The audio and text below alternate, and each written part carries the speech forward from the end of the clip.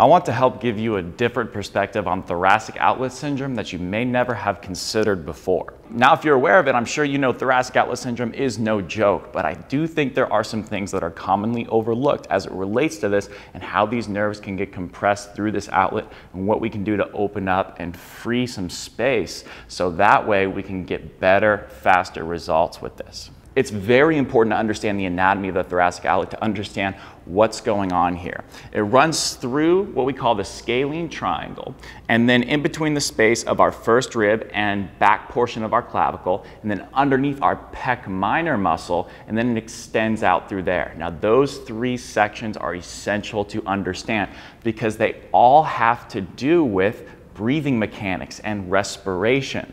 Now, many people with thoracic outlet syndrome tend to have very tight or restricted necks and also rib cages that are very stiff. Now, under normal breathing mechanics, what happens is that we get a simultaneous expansion of the front and back side of the rib cage and also laterally. The rib cage expands in all directions and the ribs move into what we call external rotation. So they rotate up and they rotate away down here. Now, our diaphragm should help us create some expansion along with our intercostal muscles, but we also have these secondary muscles of inhalation, like I refer to in other content, which is our neck and specifically the muscles that help us breathe when we can't expand our rib cage very well are our scalenes and SCM muscles. But we're gonna really focus on these scalenes in this video because the more and more tight our rib cage gets over time, the more it flattens out, so to speak. As that happens more and more, I hope what you can start to see is that this scapula is gonna start to get a little bit more elevated. And what happens with this collarbone right here is it also starts to get pushed up and together with the clavicle. So what you see is normally we have this angle right here between the scapula and the clavicle. But as you get more and more tightness and compression of the rib cage, that angle actually starts to narrow a little bit. And this compression starts to limit the space in between those, the scapula and the clavicle respectively. And that can limit how much area and space is in that thoracic outlet. But really what's happening at the root cause of that is that we're getting our neck to try to help us breathe because we lack the ability to get proper expansion in the first place. Now, when people have thoracic outlet syndrome, I am definitely going to be working alongside a physical therapist and or manual therapist who legally can do what we usually need, which is manual therapy on that individual to open up space. So that way that person can shut off their neck and they can effectively get the rib cage expansion we're looking for, which is step one. Now, there are a couple of manual techniques that I really like to begin to open up this space, but there is one in particular that I'm going to show you just for the example of learning and demonstration. And so uh, I want you to get comfortable understanding how we do this and I also want you to get comfortable understanding that this is a hands-on licensed technique for a practitioner within the state that you practice in. For demonstration purposes, I have this young man, Jacob, laying on his back. I like the knees bent position, or you can have the feet elevated if it's more comfortable for the patient or for the individual that you're working with. And what I'm going to do here is I'm going to take both of my hands and I'm just going to get a lay of the land here. So we have clavicles right here. So I don't want to be on top of the collarbone because that's uncomfortable. So what I'm going to do is I'm going to come underneath the collarbone. And notice that the demographic that you're doing this with, if it's male or female, you need to be able to explain to them what you're doing because you're placing your hands in areas of the body that they need to understand what you're doing and why you're doing it. So I'm going to go ahead and um, place my hand underneath both clavicles to where it looks like this. Okay? And what I'm going to have him do is take a breath in his nose. And as he goes to exhale, I'm going to guide one half of the rib cage down, the other half of the rib cage down, followed by the last repetition of the starting part where I'm, in this case, his right side. So now when he goes to take a breath of air in, take a breath of air in, I may allow him to move air into this chamber, this right apical chamber, while I still have my hand on this other side. Exhale for me. I'll take that down. As he's exhaling, he's continually exhaling. I'm going to do it in three cycles. Hold right there. Now, you may not be able to capture this on the audio or the video or the visual, but he is taking a breath in, take a breath of air in nasally, and I let this left hand go to move air into this left apex. As he goes to exhale, that's a nice long exhale. And so a common problem is people don't know how to exhale. So they may give me a very short exhale and not allow me to move that rib cage. Take a breath of air in, he's going to put air over here. Those pauses that I've been giving him after exhalation was intentional because I don't want him to hyperventilate and get lightheaded on me. And now, the other thing to consider is totally take another breath of air in and relax. Good. So I gave, I gave a little stretch reflex. That's more of a proprioceptive neuromuscular facilitation PNF technique, just, just for intercostal muscles.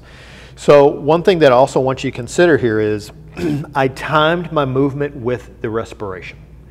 I ensured that the individual doing this learned how to properly exhale so that way you can take the rib cage down with, with, the, um, with the patient. And the other thing is the rib cage has to be able to rotate, internal and externally rotate. And you cannot do that with a CPR technique. This is not CPR. This is not from anterior to posterior you're going down. This is a movement that consists of a rib cage that is moving triplanar. It's not pump, pump, pump. It's triplanar movement in a rib cage. So if you, if you do it in a fashion where you're just pushing down, it's not going to be very effective because the patient won't like it. And when you go back and test, it won't test well. So the movement of the ex exhalation facilitated movement of a rib cage is down in in a bit of a rotational pattern. So go ahead and take a breath in for me, my sir. Fully exhale. I'm below the clavicle, so I'm going to take this right side, left side, and right side down. Pause right there. So I'm just really taking up the slack as he exhales more and it's in around three repetitions. Take a breath of air in. Notice there's going to be some apical movement right here on camera. Go ahead and exhale again for me. I'm going to take this side all the way down. We're going to take this side down. He's fully exhaling, and now I'm going to end right there. Pause for me. And it's rotational. It's not one plane. Take a breath of air in. It's going to put some air in right there. Fully exhale for me. I'm going to take this left side down. I'm going to take this right side down. I'm going to take this left side down. Good. Pause right there. And take another breath of air in. Look at that right there. Fully exhale. And so you see I'm doing this in a rhythm, allowing that rib cage to move. This is very, very parasympathetic. And you may get a little pop at the rib cage sometimes, at the sternum. That's okay too. Now take another breath of air in. And now that's a free breath right there and fully exhale and relax. So now how do I know where I'm, when I'm done? Well, I can do three or four breaths and then relax, have them take a normal respiration, and go back and repeat that two or three more times. So now, when we're looking at setup, how do I know how much towel to give this individual? So, well, one of the things that I would recommend is I'm going to take this towel out because I want to show you it's really not that thick, and I didn't even use all of the all of the towel here. Um, it's totally your judgment based on your clinical awareness of the patient's size of their neck. If you see that this person has a nice little curve in there, why don't you just fill that up and use a towel to do so. If you fold it up and it's a beach towel and it's too much, the head's going to be lifted up or the head's going to be tilted back and it's going to be inappropriate. This is a nice relaxed position of the face and the head and the neck and, and that's how I would kind of judge how much roll to put into that towel. What I'll do here is I'll take his right arm and notice how my hands place. I'm going to come in and relax. I never really had to do any gripping here. That's pretty heavy, maybe even uncomfortable because I'm really next to uh, nerves right here, like an ulnar nerve and a cubital tunnel. Don't, don't put a lot of pressure on that area. It's very uncomfortable for people. But if I have that hand resting on my waist and it's secured with a underhand support, he should feel comfortable where this arm drops. Does that feel okay? And then I can take the other hand and I can use my hypothenar eminence or the pinky side of my palm here and I can kind of look at that clavicle. I can come underneath that clavicle, see if there's any tenderness to palpation of that of that subclavius muscle. And if there is an indication that there's some tenderness to palpation, if I check that first rib and kind of palpate there and I see that there's some limitation or elevation of that rib, that potentially could be helpful for this individual. Maybe there's a thoracic outlet component, maybe there's a number of things. Um, I don't have a diagnosis for this person because it's a demonstration, but as suggestions, you may want to consider that. So now that I have him positioned, we've already talked about grip and just kind of supporting the arm. I could easily rotate my body away, and that's going to give him a little bit of distraction. Now, if there's pathology going on in the shoulder, be mindful of that and don't irritate that. So now if I take my, my um, hypothenar eminence and I come underneath that clavicle, I can easily apply a little inferior, inferior um, traction or or pressure. And what I'll have you do is take a breath in your nose, place that air, direct that air underneath my hand, fully exhale.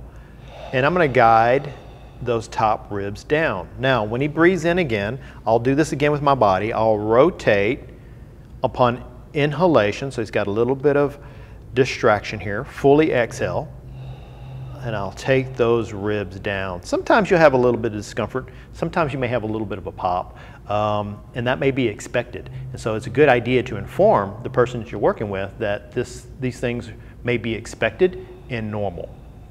Now, how do you know how much pressure to apply? Well, as you take a breath of air in, you're giving a very gentle rotation through your body, just enough to take this shoulder away. Fully exhale, taking up the slack here, looking for visual cues, maybe some feedback from your patient. Take another breath of air in, fully exhale. Four or five breaths, that should be sufficient to release whatever issues here. So I'm gonna go ahead and take my hand. I have a clavicle right here. I'm going not on top of the clavicle, but below the clavicle, right there. And I'm pretty proximal to it. He'll go ahead and take a breath in for me nasally. As he takes a breath in, I'll just give a little bit of traction on that right arm, fully exhale. I'll take up the slack and guide those ribs down into internal rotation. Pause for a second. Let me get my body. I'm in a staggered stance. I'm using optimal body mechanics. Take another breath of air in, put that air into my hand, fully exhale, and I'll take up that slack four or five breaths just like that. Sometimes you may have a little bit of pop, a little bit of release right here. That's to be expected. The amount of pressure I'm applying through this rib cage is probably a three or four out of 10. It's not much because I'm using his expiration and inhalation to help me. Inspiration and exhalation to guide and assist me while I'm guiding these ribs down. Upon inhalation, I'm also giving a little bit of pull, gentle pull, two or three out of 10 on this right shoulder. We also need to follow that up with stuff that's going to help shut off the front side of our neck and be able to get these scalenes to let go and these pec minors to release a little bit. Because remember, our shoulders are being elevated and usually also rolled forward. Pec minors, scalenes pick up a lot of leverage in that instance. So we need to be able to get our diaphragm to work and create expansion on our own after manual therapy usually, and then get the neck to relax as the diaphragm works. One of my absolute favorite exercises for this is something like this. What we're gonna do is get in a 90-90 supported position. Our feet don't necessarily need to be on a wall, just a chair works as long as you have around a 90 degree bend at both your knees and your hips. The purpose of this is just to make sure that your low back stays relaxed and you're not in an extended position. We just want the rib cage to be down, nice and relaxed here. It is essential that we have a towel roll underneath our neck and the curvature of our neck is being supported by the thickness of that towel roll. So it will depend how thick that towel is going to be. But the general idea you're looking for is that it's giving you enough support to feel like your chin is pointing directly at the ceiling, but it's not so much to where it's tipping your head back further than that, and it's not so small to where your chin is dropping down. You feel like you can totally relax and your chin is directly up. Now we have two yoga blocks right here because we're going to start the exercise by just getting our elbows directly out from our shoulders right about there, and then just letting them fall back and resting completely passively on those objects. So they don't have to be yoga blocks. You can do whatever you want as long as you're getting an even height on both sides, something about four to six-ish inches. If you need something a little bit taller, so that way you can stay relaxed, you can do something like that, and that would be totally fine as well. So now the purpose of this is to make sure we can expand our rib cage without engaging our neck whatsoever. It's gonna be pretty hard for some people. So here's how I want you to breathe through this. Get a nice, soft, full exhale through your mouth with an open mouth, like you're making an O. Do that for about five to eight-ish seconds. And at the end of that exhale, you're going to feel your rib cage come down a little bit and you're going to feel a little bit, hopefully, of side ab engagement. Not your six-pack abs, but your side abs. And you're going to maintain a slight bit of tension in those side abs as you close your mouth and put your tongue to the roof of your mouth and inhale very silently through your nose. If you do that full exhale well, you'll see Trevor's ribs come down now he's going to close his mouth, put the tongue on the roof of the mouth, and silently inhale through his nose without engaging his neck whatsoever. So he's going to feel his chest rise a little bit, but again, never at the cost of him feeling his neck engage. Because the goal of this is to educate our body how to use our diaphragm and breathe without our neck, you need to make sure that your neck stays relaxed. So the biggest problem you're gonna have is feeling the front of your neck really wanna kick on. So if that's the case, then you can work with more shallow inhales and exhales. So if you feel like when you start to inhale, your neck's gonna kick on, stop the inhale before that point and then exhale again. If you need to move to strictly just nasal inhalations and exhalations, that's completely fine. Softer and longer breaths are always, always better than harder and more forceful here. Some common things you might feel which indicate that you're using your neck is obviously tension on the front side, but also the traps raising up like that. Now you are going to get some movement of the chest rising towards the ceiling and the rib cage as a whole, but it should be up, not necessarily shrugging vertically. Now, we also want to make sure that our low back stays flat on the ground. So when you inhale, you should not lose that back flatness on the ground. If you're doing that, you might need to drag your heels down into that object, that chair a little bit. Your hamstrings will kick on a little bit and that'll help you keep your back more flat. Now we also want to, again, create some space between the clavicle and also the scap right here. We want this space to be able to move from this compressed and elevated position and down and away. So that way we can get some space for that thoracic out outlet to not be so compressed. So one thing I'm a fan of are low reaching activities with a little bit of distraction to help pull the arm down, which will help open up space in here. Here's one really effective thing I like to use for that. All we're gonna do here is get a moderately strong band attached to something low, uh, whether that be a rack or some sort of post. And we want enough tension on there to where it's naturally pulling our arm away from us. And we need to make sure what's imperative here is that we have a low angle of a reach relative to our torso. So if our torso was perfectly upright, we would have a 60 or less degree angle of our humerus relative to that torso angle. Now, I like to get a grip like this on there. You don't want to just hold the band regularly. If Trevor, you can show him that really quick that won't give you quite as much of a pull and a distraction force as a grip like that will. Now Trevor's going to get in a bilateral stance first, facing it perfectly straight on. He's going to take a slight step back with the passive side, so that'd be the left side in this instance. He's going to make sure he stays heavy on the heels of both feet, but not losing the front of the foot on either side as well. And he's just going to allow the arm to be pulled away from him, and he's going to keep his eyes perfectly straight ahead at the horizon. Trevor's gonna get a full exhale through his mouth here, trying to keep as little tension in his body as humanly possible. Just allowing that band to pull him forward.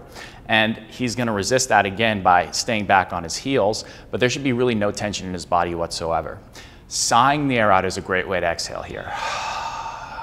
And at the end of that exhale, he's gonna feel his side abs, particularly on the side that he's being pulled into, which is his left here. And he's going to then close his mouth at the end of that exhale, put his tongue on the roof of his mouth, and silently inhale through his nose. It should be a silent inhale, not one that kicks on his neck or is audible in any way. He's going to do this for about five to 10 slow breath cycles. As he inhales, he should feel some expansion on that right side or the, or the side that he's being pulled away from. By far the biggest thing to look out for here is tension in your pec on the side that's reaching. If that's happening, you're probably trying to resist it in some way. Just let it happen. If it helps, put your passive hand on your pec to make sure that it's staying relaxed throughout this.